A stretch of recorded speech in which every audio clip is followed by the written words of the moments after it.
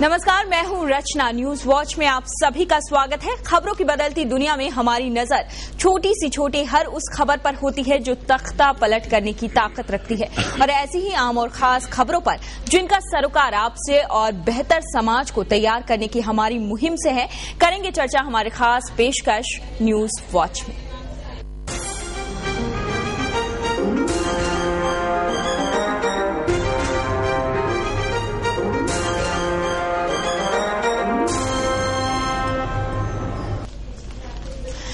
आज news watch में हमारे साथ एक खास पैनल मौजूद है। चर्चा के लिए कांग्रेस से हमारे साथ अलिया शेख जुड़ रहे हैं और अलीजान शेख के साथ हमारे साथ बीजेपी के मदन त्रिवेदी हैं। शिवसेना से लप्पा कुशालकर और समाजवादी पार्टी से अशरफ आजमी हमारे साथ मौजूद हैं। इन सभी से करेंगे हम चर्चा, लेकिन सबसे पहले बात करेंगे आज के अखबारों की सुर्खियों की। सबसे पहले बात करते हैं डीएनए की। डीएनए में पहली खबर फ्रंट पेज पर है। एक और बड़ा घोटाला जो है अब कांग्रेस के दामन पर दाग लगाने के लिए आ गया है। यह इसरो का घोटाला दो हज़ार दो लाख करोड़ रुपए का घोटाला। टू जी स्पेक्ट्रम के बाद एक और आ, कमज़ोर कड़ी साबित हो सकता है। यूपीए सरकार के लिए दो लाख करोड़ का घोटाला। ये घोटाला जो है आज एक डील को लेकर हुआ है जो इसरो और देवास के कंपनी के बीच हुआ था और अब ये घोटाला गले की फांस साबित हो सकता है। इसके अलावा दूसरी महत्वपूर्ण खबर है, कल छह लोगों की जान चली गई। मुंबई पुणे एक्सप्रेस वे पर और लगातार ये दुर्घटना बढ़ती जा रही है। तो डीएनए की खबर के बाद बढ़ते हैं। टाइम्स ऑफ़ इंडिया पर, टाइम्स ऑफ़ इंडिया में भी फ्रंट पेज पर पहली खबर यही है कि 2G स्पेक्ट्रम के बाद एक और बड़ा घोटाला कांग्रेस की मुश्किलें बढ़ाने के लिए सामने आ गया है और वो है इसरो का घोटाला, जो कि दो लाख करोड़ रुपए का है। इसके अलावा एक और महत्वपूर्ण खबर, गवर्नमेंट ने बैन कर दिया है गुटके की प्लास्टिक पैकिंग पर। यानी अब आपको गुटखा या कोई भी ऐसा पदार्थ प्लास्टिक पैकिंग के ज़रिए नहीं मिल पाएगा। और अब बात करते हैं नवभारत टाइम्स की। इसमें भी पहली खबर वही है। 2G स्पेक्ट्रम घोटाले से भी एक बड़ा घोटाला, इसरो का दो लाख करोड़ रुपए का घोटाला। और एक और बेहद अहम खबर है कि अब दादा ने क्रिकेट को कह दिया है अलविदा। यानी अब सौरभ गांगुली आपको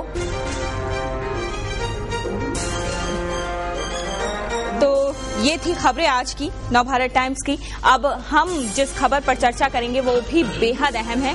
कांग्रेस का सबसे बड़ा दुश्मन अगर कोई है तो वो है सिर्फ़ कांग्रेस। हाल ही में हुए कुछ वाक्यों पर नज़र डालें तो ये पूरी तरह से साफ़ हो जाता है। गुत्थी सुलझाने के चक्कर में कांग्रेस अपने आप को और भी ज़्यादा उलझाती नज़र आ रही है। कांग्रेस जब जीतती है तो प्रतिद्वंदी को चारों खाने चित करके जीतती है। लेकिन फिर कुछ ऐसा हो जाता है कि कांग्रेस खुद अपने ही जाल में उलझ जाती है।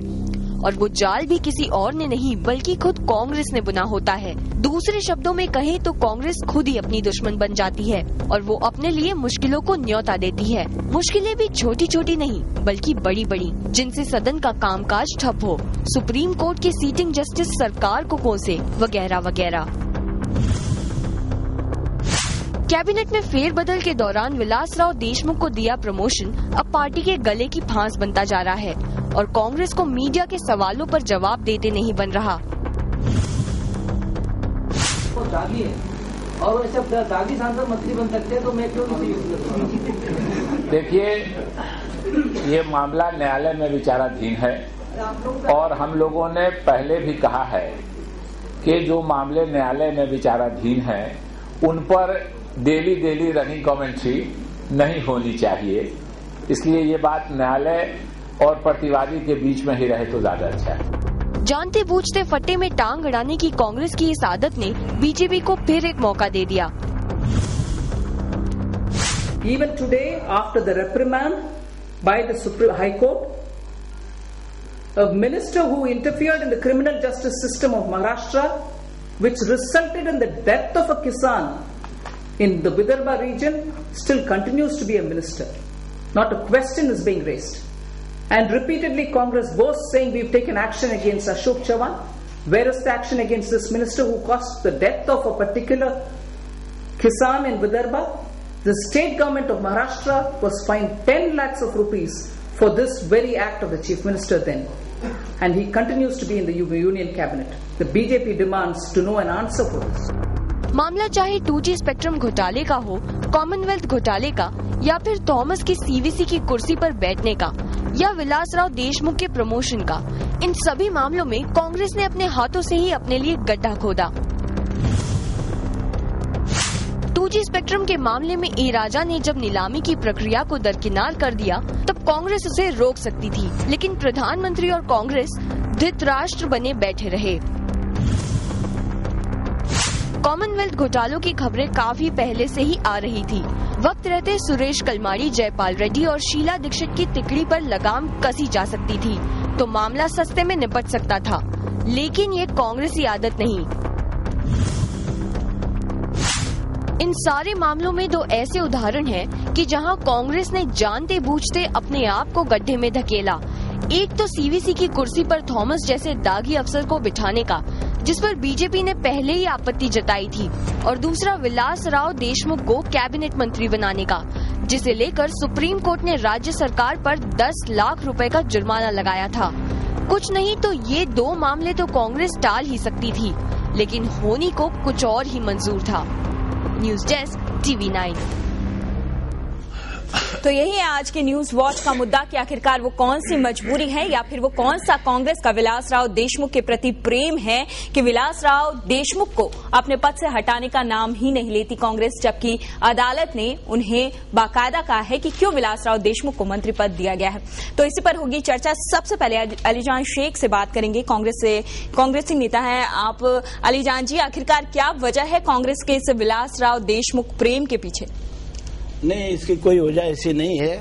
कुछ लोग ऐसे होते हैं जिनके जो है काम अच्छे होते हैं और उनका जो है रिकॉर्ड देखकर उनको सर अपना अपनी सरकार जो उनको संभालती है कि भाई ये इनके फ्यूचर के और भी कुछ काम है। कि नहीं कि मतलब एक में आए काम आदमी गलत हो गया तो पूरा गलत है। लेकिन वो मुख्यमंत्री थे उसके, उस वक्त जब... उसके पीछे जो है और भी कुछ राज हो सकता है। और दूसरी बात की आज भी जो है इंक्वायरी चालू है इंक्वायरी बंद नहीं हुई है। सुप्रीम कोर्ट ने आदेश दे दिया। फैसला आ गया है की दस लाख रुपये का जुर्माना लग चुका है। ठीक है वो सुप्रीम कोर्ट का ऑर्डर जो है वो सभी ने माना है। और ऐसा नहीं कि कोई नहीं माना है। अब कोर्ट का ऑर्डर कोर्ट का ऑर्डर होता है। फिर भी जो है, आज सरकार जो आप बोले कि उनको संभाला है संभाल कर रखा है, क्या प्रेम है? प्रेम ये हो सकता है कि मतलब कुछ उनके काम अच्छे भी हो आगे फ्यूचर के। उसकी वजह से उनको संभाल कर रखा है। सही बात। देखिए, ऐसा है कि ये मामला ये है कि दिलीप सानंदा नाम का एक एमएलए कांग्रेस का उनके पिताजी महाजनी का काम करते हैं। मैं पिछली बार भी आया था, जब भी आता हूँ, हम लोग बोलते हैं कि किसान खुदकशी क्यों कर रहा है? किसान खुदकशी इसलिए कर रहा है कि मराठवाड़ा से लेकर, विदर्भ से लेकर, वो पूरे इलाके में कोकन भी हो सकता है उसमें शामिल, पूरे इलाके में महाजनों का एक बड़ा कारोबार है और वो सूद पे पैसा देते हैं और पूरी ज़मीन वो हथिया लेते हैं और फिर नेताओं को ये कहते हैं कि भाई पाँच सौ अगर हमारे हिस्से में आपको वोट दिया जाएगा। दिलीप सानंदा ने भी यही काम किया था, ज़मीन को हथियाने के मामले में जब गरीब किसानों ने पुलिस स्टेशन में जाकर शिकायत दर्ज कराई तो पुलिस ने उनकी कंप्लेंट नहीं ली क्यों? क्योंकि चीफ मिनिस्टर विलासराव देशमुख जी उस वक्त उनको कंप्लेंट देने से रोक रहे थे। और जब ये मामला अदालत में आया तो अदालत ने महाराष्ट्र सरकार पर दस लाख रुपए का जुर्माना लगाया। कांग्रेस बात करती है भ्रष्टाचार को खत्म करने की। उनके युवराज पूरे देश में घूम घूम कर भ्रष्टाचार खत्म करने के लिए नौजवानों को आगे बुलाते हैं। लेकिन अपने साथ सबसे बड़े भ्रष्टाचारियों को साथ में रख के क्या बताना चाहते हैं मुल्क को? ये सिर्फ़ इस बात की इस बात की तायद होगी। आज आम आदमी बोल रहा है कि अशोक राव चौहान को बिठाया गया। मराठवाड़ा के एक बड़े नेता थे। अगर विलास राव देशमुख को बैठाया जाएगा तो महाराष्ट्र में एक बड़ा सियासी भूचाल आ जाएगा। और वो सियासी भूचाल को रोकने के लिए कांग्रेस पूरी ताकत के साथ उन भ्रष्टाचारियों को अपने साथ शामिल कर रही है जिनको दिखावे के तौर पर वो दूर करना चाहिए अलीजान जी क्या जवाब है आपके पास इसका? नहीं देखिए अपोजिशन जो है कभी भी अपोज करने वाली है। कुछ भी हो, वो अपोज में तो जाएगी अपोजिशन में आज ये खुद सत्ता में होते तो उसकी उनकी कदर होती है उस चीज़ की कि भाई हाँ हकीकत क्या हो रहा है सरकार क्या कर रही है? वो बोलते हमारी जो सरकार कहा क्या बात कर रहे हैं आप? कोर्ट का वर्डिक्ट है। नहीं नहीं बिल्कुल सही है। दोषी करार दिया गया है। महाराष्ट्र सरकार को जुर्माना बढ़ा इतिहास में पहली बार सरकार ने आज भी उनकी इंक्वायरी चालू है। के लिए इतिहास में पैसा भरा है। बंद नहीं हुआ है नहीं नहीं बंद नहीं हुआ है। क्या फैसला आ चुका है। फैसला आ चुका है फैसला आ चुका है कि उन्हें दस लाख जुर्माना जुर्माना भरा जाए। आप मुजरिम फैसला माना गया है ना। फैसला तो इनकार नहीं है हटाया जाता है? मगर अभी वो झूठी जो बातें फैलाई जा रही है देश के अंदर गरीबों को बहकाने और फुसलाने की वो क्यों की जा रही है उसके बावजूद कहिए ना कि आप भ्रष्टाचार से लड़ना नहीं चाहते। सीधे सीधे साथ में आ जाइए और ये आदेश और ये उद्देश्य मत दीजिए देश को कि हम लोग भ्रष्टाचार को रोक रहे हैं भ्रष्टाचार है जो भ्रष्टाचार में आ रहे हैं उनके साथ में सरकार बराबर कानूनी कार्रवाई कर रही है क्या कर रही है? अभी अभी अभी देखिए ना जैसा चौहान साहब को जो है अशोक चौहान साहब को जो निकाला सवाल यही होता है है। है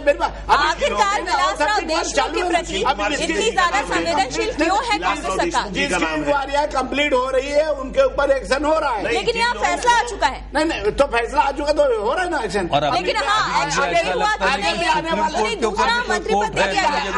दिन सरकार सरकार ये बोलना चाहती है मैं आज ही पढ़ रहा था सरकार ये बताना चाहती है अभी कि कोर्ट कोर्ट को कोर्ट नहीं है। कोर्ट के अंदर ही कोई बात करना चाहिए। कोर्ट के बाहर आके किसी जस्टिस को इस तरह की बात नहीं करना चाहिए। उनको अपने दायरे में रहना चाहिए। इस तरह की बात चल रही है हुकूमत के अंदर। यानी आप आवाज़ को दबाने के लिए देश की बड़ी सबसे बड़ी न्यायपालिका के अंदर आप उन लोगों को भी इस बात के लिए करें कि भाई आप अपने दायरे में रहिए। यानी अगर कोई तल्ख बात अगर आदमी की ज़ुबान पे आ जाए तो उसको रोकना है। यही काम है। तो फिर जो स्पीच की आज़ादी है वो कहाँ गई? एक जस्टिस जो है अगर कोर्ट के अंदर बैठ के कोई वर्डिक देता है और बाहर आके अगर वो कोई बात करना चाहता है तो उसको रोकने का हक किस सरकार नहीं नहीं है? कुछ तो उसके अंदर खामियाँ होगी इसलिए रोक रहे हैं ना। कुछ क्या खामियाँ है? कुछ तो खामियाँ जो जो सुप्रीम कोर्ट के जज ने जो जो आदेश दिया था जो वर्डिक दिया था जस्टिस गांगुली ने उसी बात को दोहराया था कि सरकार इस तरह से इस तरह से जो काम कर रही है इसमें ट्रांसपेरेंसी नहीं है। इसलिए उन उन लोगों ने जो कहा है उसको करने के लिए क्यों रोका जा रहा है? तो अगर सुप्रीम कोर्ट बोल रहा है उसके बाद भी सरकार नहीं मान रही है।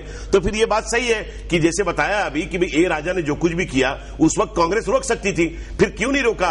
प्राइम मिनिस्टर के दायरे में आता था ये मामला। राजा को तो हटाया हटाने से क्या मतलब? एक लाख छिहत्तर हज़ार करोड़ रुपया देश का लुटवा के अगर आप होश में आए तो गरीब आदमी तो भूखों मर रहा है ना। उनको हटाने के बाद भी आज राजा की पूरी इंक्वायरी चालू है। इंक्वायरी किसके लिए? राजा के लिए। क्या है? नहीं नहीं राजा ही सिर्फ़ उसमें दोषी है क्या? नहीं, नहीं, आज सरकार यूपीए की दोषी नहीं है क्या? बहुत सारी तो चर्चा कर चुके हैं। आज का हमारा जो है वो है विलासराव देशमुख को कांग्रेस सरकार क्यों नहीं हटाती जब अदालत ने उन्हें दोषी करार दिया है? नहीं मैंने बताया ना कि अदालत जो है उनको दोषी करार दिया उन्होंने माना है। देखिए ये सिर्फ़ ये उन्होंने सिर्फ़ माना वोटों की राजनीति एक्सेप्ट ना है ये सिर्फ़ वोटों की राजनीति है। मराठवाड़ा के दो बड़े नेताओं को एक साथ कांग्रेस खोना नहीं चाहती।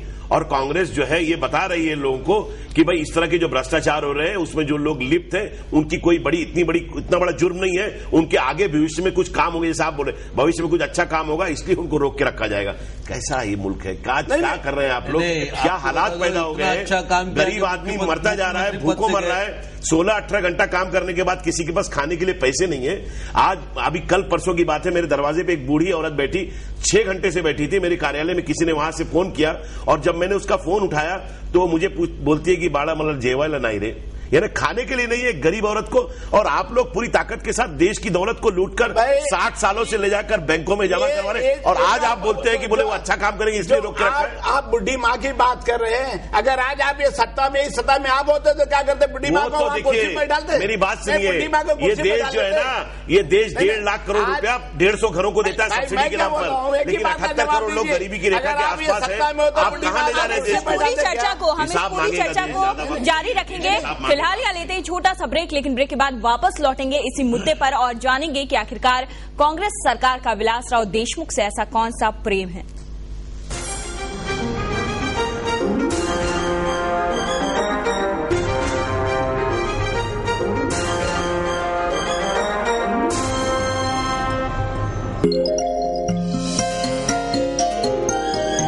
ज़िंदगी ने जीने की कई शर्तें रखी। नौ चालीस की बस पकड़ने की शर्त। कम पैसों में परिवार चलाने की शर्त। भीड़ में अपनी पहचान बनाने की शर्त। हर शर्त मुझे मंजूर है, लेकिन एक शर्त नहीं। बहू बनने पर बेटी की जिम्मेदारियाँ भूल जाने की शर्त। एक नई रीति, एक नई नीति की नींव रखने चली है। 14 फरवरी से सोमवार से शुक्रवार रात साढ़े आठ बजे स्टार प्लस पर। रिश्ता वही, सोच नहीं।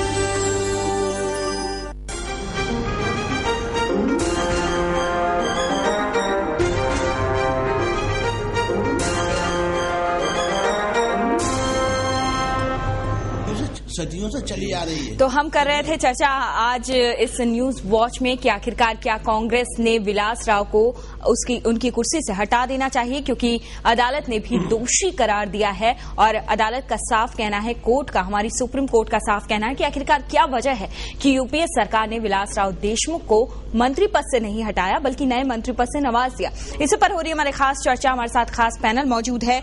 आ, मदन जी आप विपक्ष में बैठे हैं। विपक्ष इस मुद्दे पर अभी तक शांत क्यों है? नहीं नहीं बिल्कुल शांत नहीं। अब कहा बताइए मुझे विपक्ष कहाँ शांत है? आखिरकार विलासराव देशमुख के लिए जो भी आवाज़ें उठ रही हैं वो इतनी फोर्सफुली क्यों नहीं उठ रही बीजेपी की तरफ़ उठ रही है बीजेपी की तरफ़ से। बीजेपी ने तो मुद्दा लाया। विलास राव का मुद्दा वो बीजेपी ने ही लाया। और किसने लाया मुझे बताइए। सुषमा जी ने हाउस में चिल्लाया इस सब्जेक्ट के लिए। मंत्री पद से क्यों नहीं हटाया गया अब वो तो देखिए कांग्रेस मंत्री पद से क्यों नहीं हटाया गया वो तो मनमोहन सिंह जी बताएँगे। कांग्रेस वाले बताएँगे। हमारे तरफ़ से अभी भी प्रयत्न चालू है कि ऐसे आदमी को हटाना चाहिए हो सकता है विपक्ष वालों का और इनका जो है कुछ आपस में बात हो गई हो। ऐसा अगर कांग्रेसी नेता बोलते तो बहुत अच्छी बात है। नहीं नहीं हम तो चाहते हैं कि भाई आप ऐसे बोले ना चल रहा है। मतलब अभी तक जो बोले चल रहा है। बोले ना चल रहा है। हमारा हमारे तरफ़ से तो चल रही रहा है कि उसको हटाना क्या चाहिए। चल रहा है? मतलब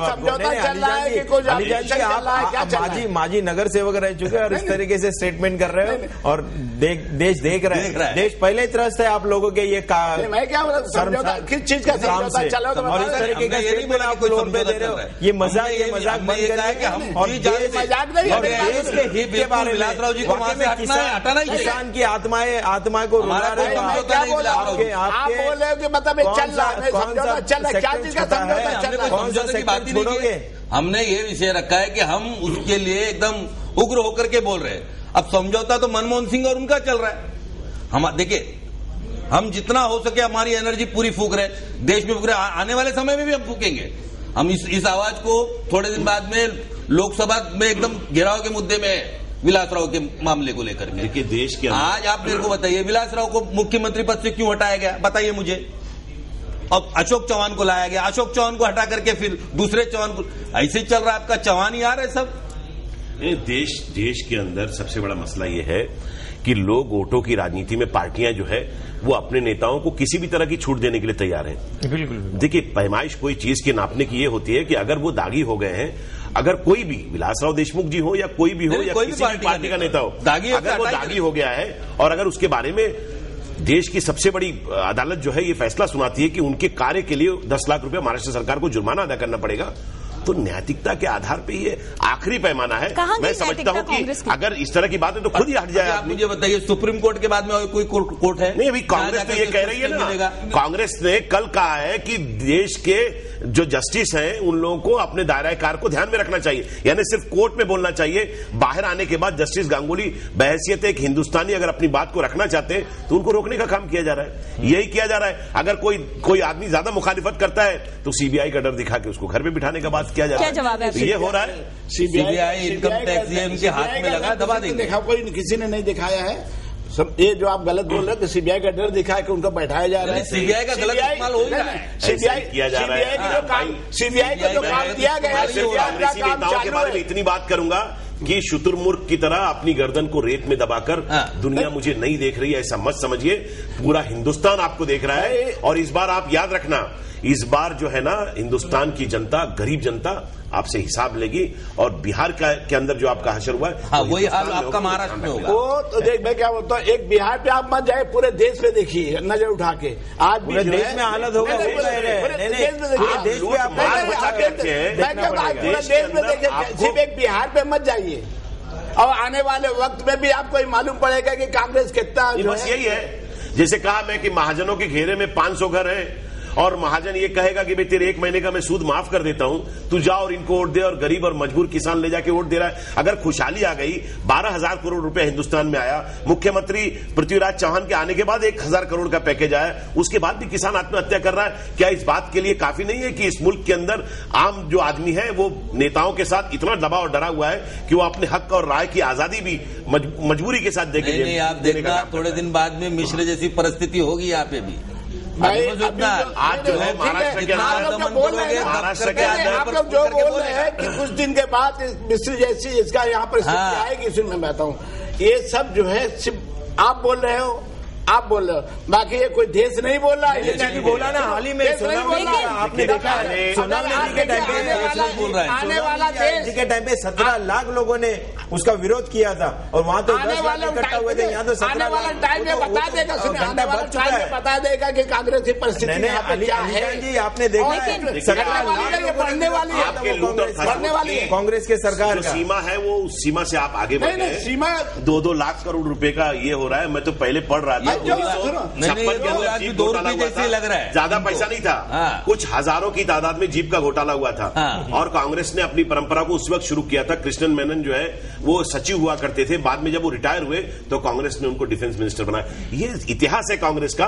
और ये गरीब और कमज़ोर आदमी को दबाने के नाम पर वो इसी तरह के कार्य करती चली आ रही है। लेकिन अब हिंदुस्तान जाग रहा है। यकीन दिलाता हूँ आपको कि चार बरस या साढ़े तीन बरस के बाद ऐसा हिंदुस्तान नहीं रहेगा जिस तरह से आप आसानी से वोट लेकर यहाँ बैठ रहे हैं। इस बार आपको बड़ी मजबूती से हिंदुस्तान हिसाब मांगेगा। अठहत्तर करोड़ लोग जो है। मुल्क में गरीबी की रेखा के नीचे है अलीजान भाई।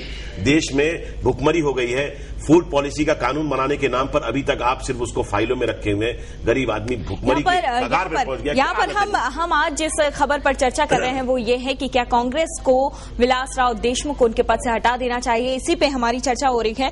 अलीजान जी छब्बीस ग्यारह का हमला हुआ। विलासराव देशमुख को हटाया गया। हाँ। लगातार विलासराव देशमुख पे एक के बाद एक उंगलियाँ उठ रही हैं। ठीक है? उसके बाद अब जब कोर्ट ये फैसला दे देता है कि हाँ ये मुख्यमंत्री की गलती है और मुख्यमंत्री के खिलाफ फैसला आता है। उसका जुर्माना भरता है राज्य सरकार। लेकिन कांग्रेस जो है, वो साफ़ कहती है कि मामला न्यायालय में विचाराधीन है, जबकि फैसला आ चुका है और इस पे कुछ भी बोलना उचित नहीं है। क्यों? मतलब कोर्ट ने जो, न्यायालय ने जो फैसला किया है, वो फैसला को ना तो नहीं बोला है। एक वो फैसले को तो माना है ना। गवर्नमेंट अगर अगर सरकार ने फैसले को माना है। तो क्यों मानने का पैमाना क्या है? तो मुजरिम मानने का पैमाना क्या है। अगर कोई चीज़ वर्डिक्ट आता है और उसके ऊपर आप फैसला लेते हैं तो इसका मतलब यह है कि भाई आप इस बात को मान रहे हैं कि कोर्ट ये मुजरिम है। वो गलत है। नहीं नहीं एक बार देखिए एक बार जिसको सजा हो गई तो मुजरिम कहलाता है। अगर उन्हें आपने एक्सेप्ट किया तो मुजरिम है मुजरिम नहीं नहीं बिल्कुल आप ये बोल रहे हैं। कि है? मुजरिम सरकार ने एक्सेप्ट किया। कि कहाँ तक इनका कहना है कि गलत। एक मुजरिम को आपने मंत्री बना रखा है। ऐसे ही मुजरिम की भी इंक्वायरी होती है कहाँ तक सही अच्छा, है कहाँ तक गलत है? हैं। आपने बोला। जब देखो एक बार उसको एक बार कन्वेक्शन हो गया जिस आदमी को एक बार कन्वेक्शन हो गया तो उसको सजा कंफर्म होती है। उसमें कोई आप दस जब उसको ऑलरेडी उसको पनिशमेंट हुआ है। देखिए और आप एक्सेप्ट कर रहे हो कि उसको हाँ पनिशमेंट हुआ है। कर रही है। लेकिन पनिशमेंट नहीं है। पनिशमेंट जो है ये तो कोर्ट ने दिया तो उसकी बात हो रही है। और कौन देगा? देगा कौन? अरे भाई, कोर्ट नहीं देगा तो और देगा कौन? बताइए चालीस एमएलए को लेके साथ में बैठे हुए हैं। ये इस बात का सबूत है कि कांग्रेस के अंदर जो अफरा तफरी मची है वो आगे आने वाले दिनों में ज़ाहिर होगी। देश महाराष्ट्र के अंदर दो बड़े नेताओं को एक साथ दूर करने का जोखम जो है खामियाजा भोगना नहीं चाहती कांग्रेस। इसलिए उन्होंने नहीं नहीं वो खामियाजा भोगना नहीं चाहती कांग्रेस। उनको भी पता है चालीस एमएलए लेकर के अशोक अलग हो जाएँगे। देखिए, उनको भी पता है कि कांग्रेस अगर नाम अशोक राव जी को ज़्यादा टाइट किया गया विलास राव जी को ज़्यादा टाइट किया गया तो कांग्रेस कल के कल नीचे आ जाएगी। वक्त में हाईकमान का जो फैसला होगा वो है। कोई हाईकमान कोर्ट से उनके हाईकमान को कोई सुनने वाला नहीं आपको बता दूँ। कोर्ट के आदेश कोर्ट आपको हूँ। है हाईकमान को कोई सुनने वाला नहीं है। कोर्ट का आदेश बड़ा ये बड़ी बड़ी ये चालीस एमएलए लेकर के अलग हो जाएँगे। सरकार डावाडोल हो जाएगी ये बड़ी गंभीर बात है कि अगर जस्टिस गांगुली किसी प्राइवेट तकरीब में या प्रोग्राम में जाकर अगर इस तरह की कोई बात करते हैं किसी भी नेता के ऊपर टिप्पणी देते हैं। तो आप उनको बोलते हैं कि आप दायरे कार में अपने रहिए अपने दायरे में रहिए यानी कोर्ट में ही बोलिए। हिंदुस्तान के अंदर आज़ादी है ना बोलने की? अगर मैं अगर मैं किसी के खिलाफ अगर बोल रहा हूँ तो ये मेरी आज़ादी जो हक बाबा साहब ने दिया है जो दस्तूर में कानून में उसी की बात कर रहा हूँ मैं। अगर जस्टिस गांगुली बाहर बोला तो कांग्रेस चिलमिला क्यों गई? अगर वो इस बात के लिए मानती है कि ये गलत है तो आए और ऐलान करे कि भाई विलासराव देशमुख जी को इसलिए नहीं हटाया जाएगा कि कोर्ट का फैसला हम नहीं मानते। और हाँ, अगर कोर्ट के फैसले में आप तस्लीम करते हैं कि कहीं बात है इस चीज़ की सच्चाई है तो आप मानिए इस बात हटा करके उसकी इंक्वायरी और करनी आइए ये महाराष्ट्र ये महाराष्ट्र जो है जो तेल माफियाओं से विलासराव जी को। ये महाराष्ट्र जो है वो तेल माफियाओं से बालू माफियाओं से और ज़मीन माफियाओं से घिरा पड़ा है। इस इस इस महाराष्ट्र को अगर निजात दिलाना है तो ईमानदारी से आप कोशिश कीजिए सिर्फ़ सर्वे और दौरा करके अगर आप जवानों तो को लाकर बड़ा करना चाहिए तो चलिए ऐसा हम जनता से पूछ लेते हैं और जनता से आज का सवाल करते हैं कि क्या कांग्रेस को विलास राव देशमुख को उसके पद से हटा देना चाहिए। एसएमएस भेजने के लिए पहले लिखे न्यूज़ वॉच, फिर स्पेस देकर हाँ या ना और हमें मैसेज करें five zero three zero three zero पर। तो ये था आज का हमारा न्यूज़ वॉच, टीवी नाइन पर। खबरों का सिलसिला जारी, आप बने रहिए टीवी नाइन के साथ।